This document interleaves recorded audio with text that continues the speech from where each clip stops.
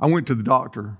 I, I, had a doctor for a lot of years. He was a great man. By the way, I didn't tell you. Turn to Acts chapter 10. I'm going to actually begin with a couple words from Matthew 16, but we're going to be heading to Acts 10. And y'all don't worry, I'm going to preach almost two chapters today. that shouldn't scare you. I can do two chapters faster than I can do two verses. So, um, my, my doctor and I, we, we got real close. And uh, he, he was my doctor for a lot of years. And, and uh, he was always there for me. And when uh, he was going through some very difficult times, I was there for him. And uh, all he had to do was call, and I would be there.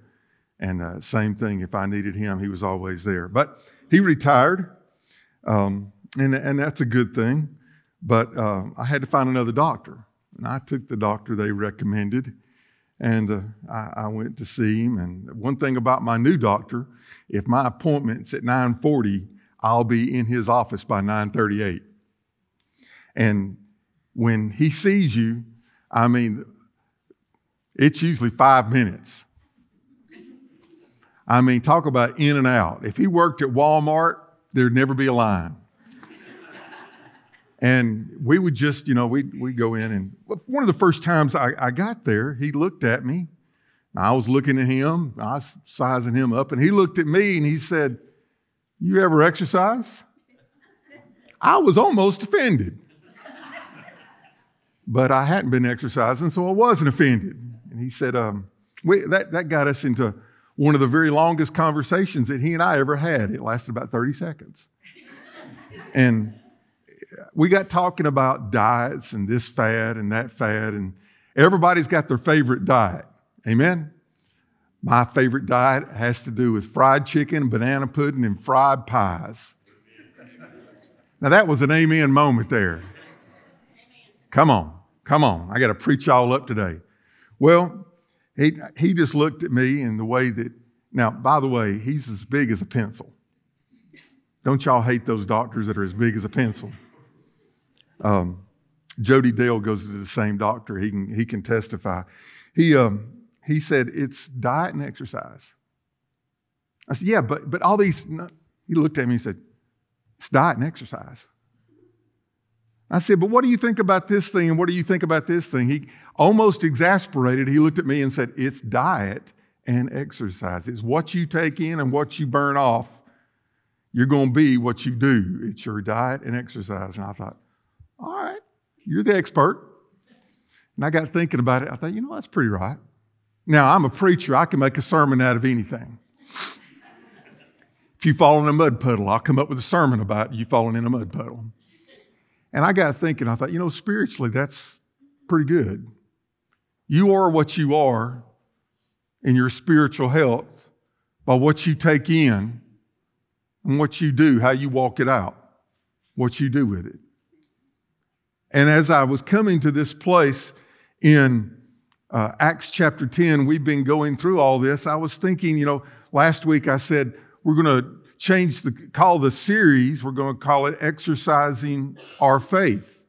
Exercising Our Faith. Bible study will tell you about God, but obedience will let you know God. There's a difference. Seems like in church we want to have all the Bible studies. You can learn all the things, that, but until you get to the place of obedience, you're never going to know God. But if you want to know God, just be obedient to what He's told you and you'll find Him real quick. James chapter 2, verse 20 says, Faith without works is dead. James 2:20. The writer of Hebrews says in the 11th chapter, in the sixth verse, that's the faith chapter, he says there that it is impossible to please God except by faith. If you want to please God, the only way that you're going to please God is by faith. So we're supposed to have a spiritual diet, and prayer, Bible study, listening, learning.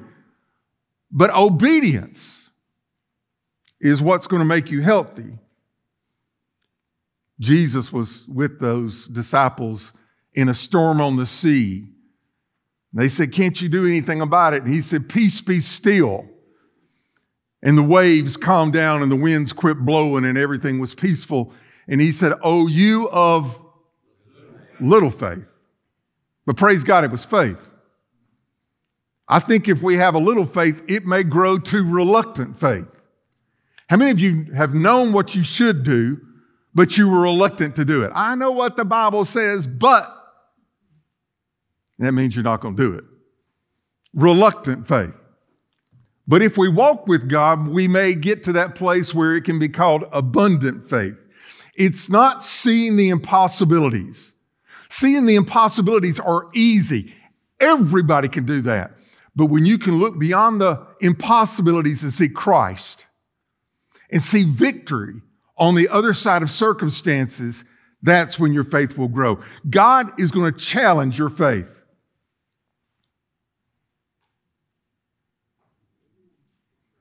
He wants to stretch your faith. He wants you to grow your faith. And by the way, He'll make sure that you face some things to help you find that strong faith. And sooner or later, if you're walking with God, you're going to get to the place where you'll see past your circumstances and you'll see Jesus Christ. In Matthew 16, Jesus was with his disciples. You don't need to turn there, you know this story very well. He said to his disciples, Who do men say that I am? Some said, Oh, some say you're this person, some say you're this person, some say you're this person. Then Jesus said, But who do you say that I am? He was wanting them to look beyond all the sermons and, and open up the heart and see the realness of what was there. And Peter stepped up and said, You are the Christ, the Son of the living God.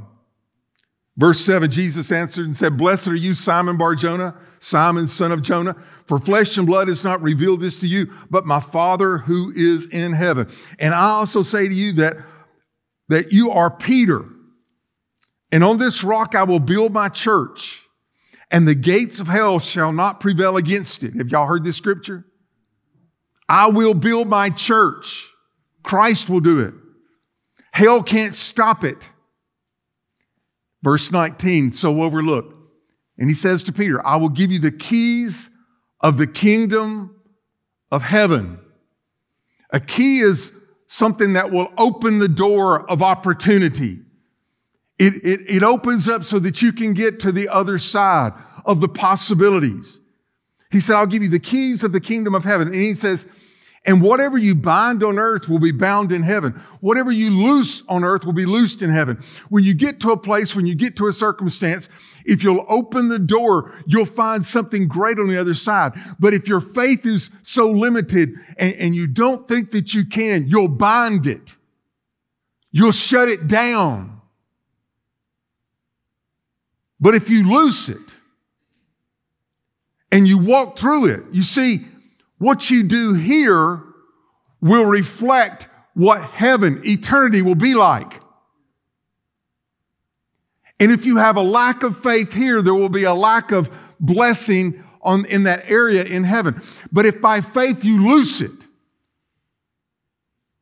then you're, you're loosing all of those things and the possibilities that could be in heaven. It's a time of stagnation and of binding and holding down, or it's a time of production, of blessing. It's up to you. The ball is in your hand. If you're saved, you're saved by grace through. If you walk out that life of love, yes, and trust, yes, and belief, yes, and obedience Oh, what God can do. So in Acts 2, Peter preached a sermon to the Jews, and the Holy Spirit fell. And the gospel went to the Jews. The good news of Jesus Christ went to the Jews. In Acts 8, Peter took the key to the Samaritans and he preached and God blessed and people were saved and the gospel went to the Samaritans. Then in Acts 10, he takes those keys again and he opens up the door of opportunity. He didn't set this up, God set it up. But now the gospel is going to go to the Gentiles. Let me remind you what Jesus said before he ascended to heaven. Acts 1 8. But you shall receive power. It's not your power, you don't generate it. You just are the conduit. You shall receive power when the Holy Spirit has come upon you, and you shall be witnesses to me in Jerusalem, the Jews, Judea, those outer Jews, Samaria, the people you don't even like, and to the ends of the earth, the Gentiles. I don't know about you, but I'm grateful it reached us. I wasn't born into that, but I was born again into that. Oh, what God can do. Let's pray. Now, Lord, I pray that as you place the keys in our hands as well, in the world in which we live and the influence of which we've, we've been given by your grace, that we will look to you and we will find your power, your strength, your faithfulness, and your goodness. And Father, we pray for blessings for glory's sake. I pray that people will not be so lacking in faith that they will bind you up so that your work cannot be done, but they will loose you into our lives and into our circumstances so heaven and eternity will be affected. It's about us, but Lord, it's about you. So help us to see. In Jesus' name we pray. Amen. In Acts 10, it begins with a Roman centurion his name was Cornelius. He's down in Caesarea Philippi and he's there. And as he, he the Bible tells us he's a devout man and, and he was always praying to God. And, and about three o'clock in the afternoon, he saw a vision. Now, let me just explain this because when God comes and God shows up, you know it's him. It says he saw a vision of an angel of God that was there with him. And he said, your prayers and your alms, your giving have come up as for a memorial before God. God sees, God's remembering. Now, send some men down to Joppa. There's a man there by the name of Peter. He's staying with a Simon the tanner. Go down there and tell him to come. He's got something to tell you. Well, about the same time, uh, uh, the day before, about three, about noontime. Anybody here, get hungry at noontime? I mean, some of you, when I'm preaching, you're tapping your watch and you're going, my and then we get that holy sound that happens in church when all the stomachs start growling together in harmony. And they're saying, Preacher, let us go. Free us, let us go, right? When, when Peter was there, but he was up on the top of the house in the heat of the day and he's hungry and he falls into a trance. And the Bible says, listen, heaven opened and a sheet comes down from heaven. I mean, this has got to be a picnic. Amen? A picnic from heaven. The, the, the, sheet's coming down. There's food. He's hungry. And then he peeks inside the sheet and he sees, oh, wild animals, four footed creatures, creeping things, literally reptiles. Mmm and birds of the air. Now, if it had been fried chicken, I'd have been all for it. Amen? Maybe it was squab. Anybody want to have pigeon this afternoon? I mean, they're kind of a pretty bird. I don't think I want to eat one though. And he sees this sheet of all this food, and he's like, and, and, and the Lord says, clean and eat. He looked at it again. Not me, Lord. No. I have never eaten anything unlawful in all my life. And Jesus says back to him, Hey, don't you say anything that I've created is unlawful or common. Rise up and eat. Well, Old Pete's a little stubborn. The sheet comes down again. Rise up and eat. No, no, no, not doing it, not doing it, not doing it. I can just say, Pete, I'm going to give you another chance. The sheet comes down again. Now, some of us don't learn the first time. That's okay. But if God repeats himself, that should get our attention. If God says it three times, now you can be stubborn if you want to, but He's the great teacher. And He's going to get your attention.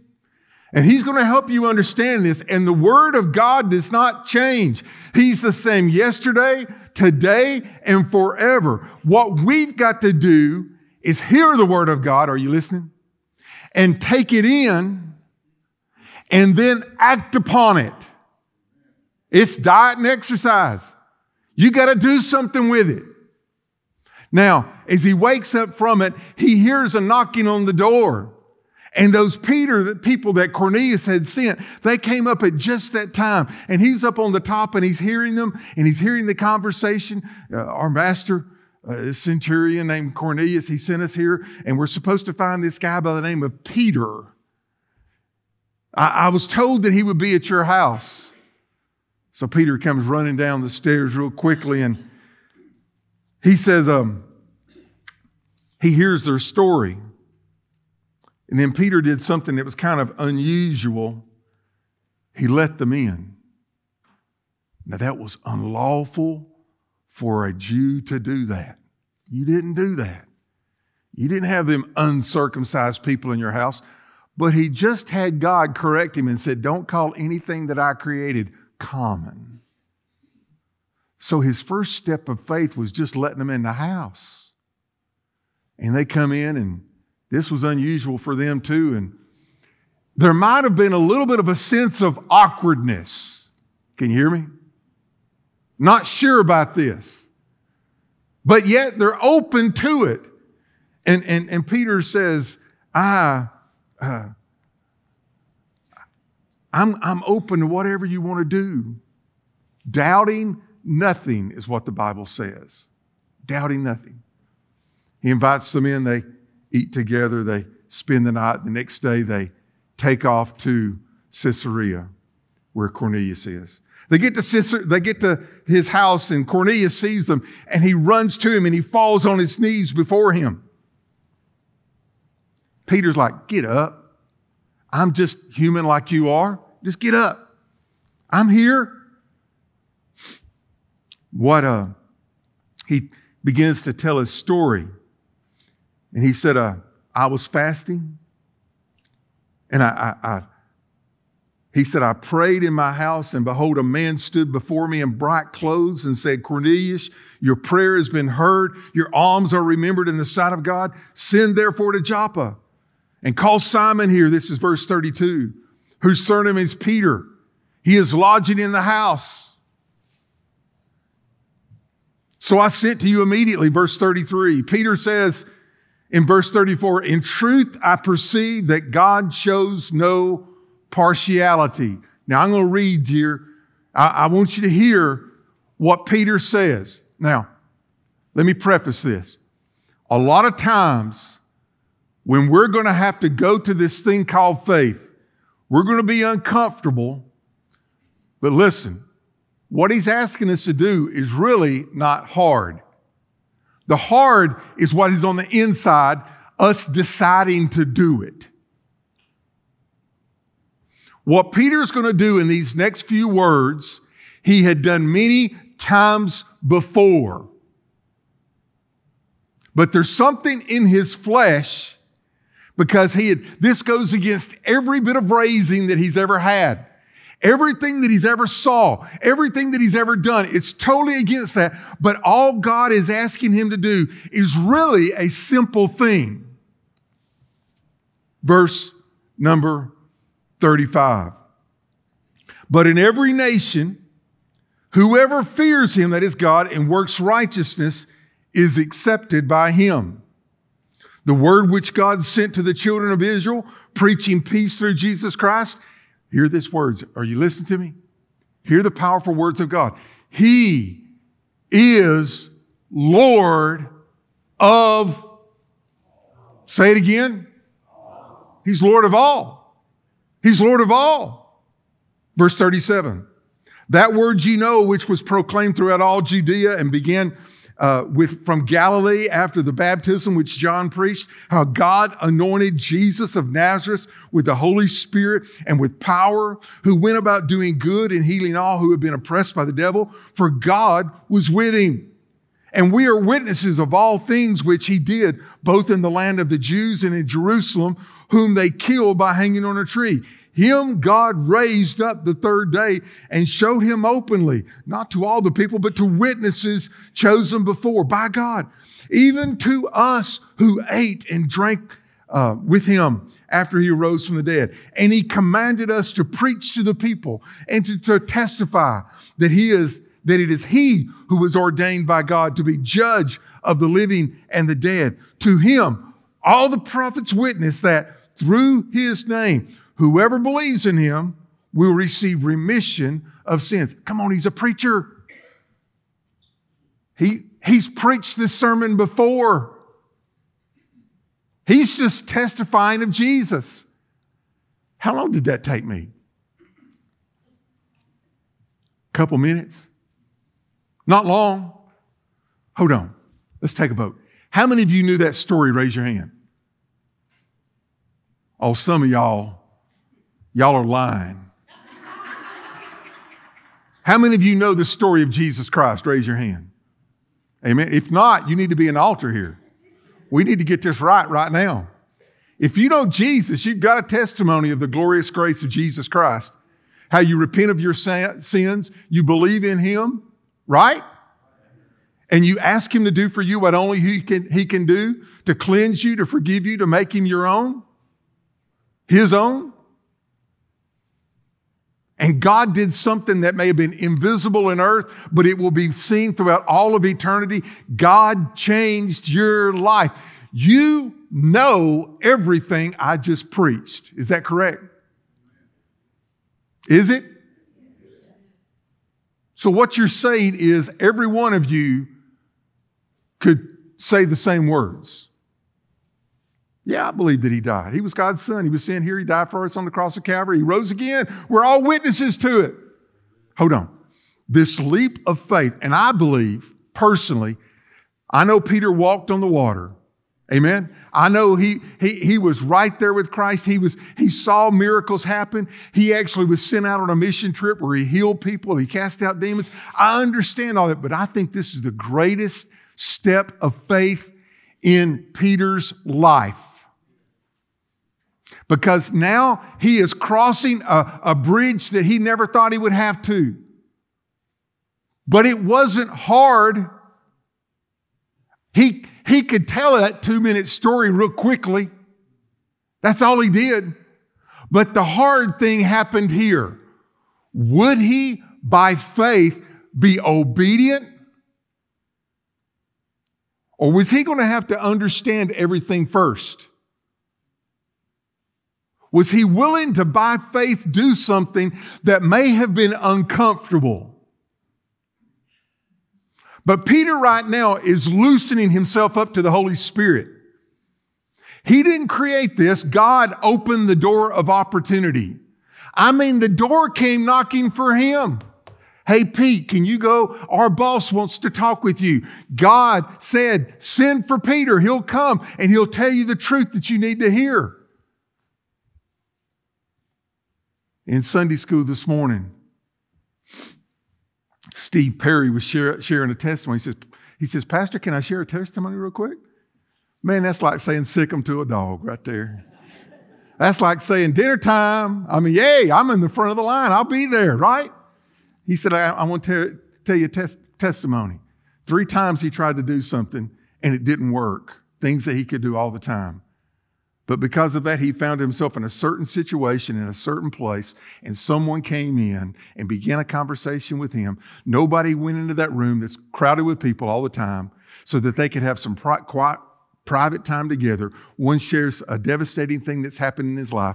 Steve, with tears in his eyes, began to talk with him, told him he would be praying with him. Do you think God is a God who doesn't do that kind of stuff all the time?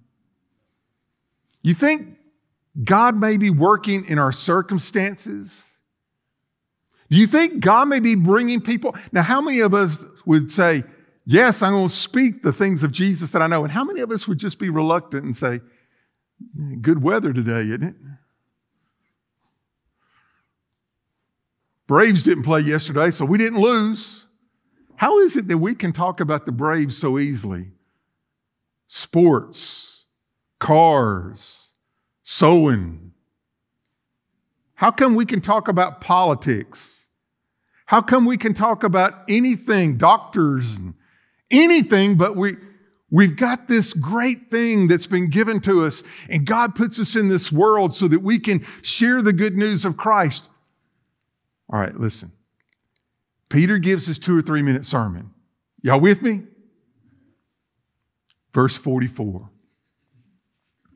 While Peter was still speaking these words, how dare anybody interrupt the preacher? While he's still speaking, God said, That's enough, Peter. The Holy Spirit fell upon all those who heard the word, and those of the circumcision who believed, they came with old Pete. They were astonished and as many as came with Peter, because the gift of the Holy Spirit had been poured out on the Gentiles also. The Holy Spirit said, Peter, two, three minutes, that's good, but hush, I got a work of salvation that needs to be done. And the Holy Spirit fell, and they got born again right there. Now, hold on. All of us. What did Peter do? It was easy. It may have been hard to make the decision to do it.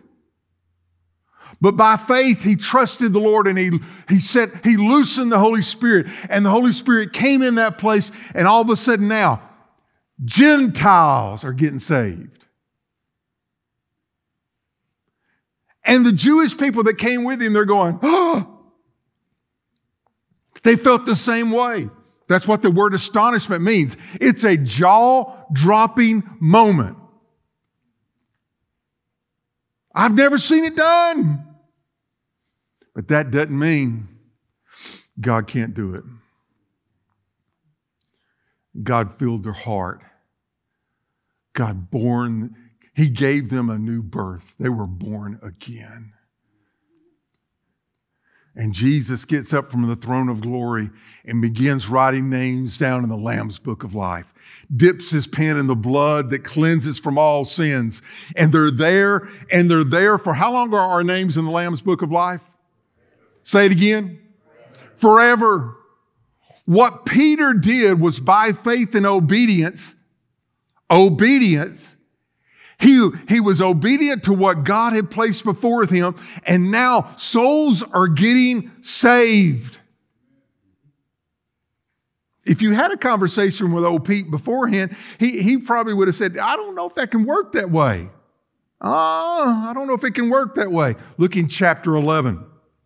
Now, the apostles and the brethren who were in Judea heard that Gentiles had also received the word of God. How many of you know the word travels fast?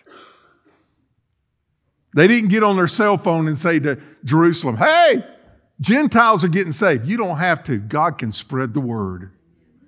If you release the word, God will spread the word. If you bind up the word, it dies there, and God will have to find somebody else to use. And verse 2 And when Peter came up to Jerusalem, those of the circumcision contended with him. They argue with him. Why is it that we want to argue about that kind of stuff? Then Peter told the story, the same simple story. And you know what they did? They had a jaw dropping moment too because they knew it was Christ and they all celebrated. Every time a soul gets saved, there's a party going on in heaven. Amen. And there should be a party in the hearts of God's people when people are obedient to the call of God and things happen. You may not see it happen immediately like Peter did, but I want you to know faith breeds, breeds fruit. It won't die on the vine. Faith releases fruit of heaven. Let me ask you what if they shut it down? What if that trance that Peter was in and he looked inside that picnic spread that God and said, No, I'm not doing that, Lord. I'm not doing it. I'm no, I'm not doing it. Not doing it. I don't care how many times you tell me I'm not doing it. I was raised this way, I'm going to be that way till I die. No pig for me. It had been shut down. It had been shut down. What if they were not willing to change? Small steps lead to large, long journeys. But Jesus said in Matthew 16, Upon this rock I will build my church. He didn't tell us 10 ways, but this way of faith is the foundation.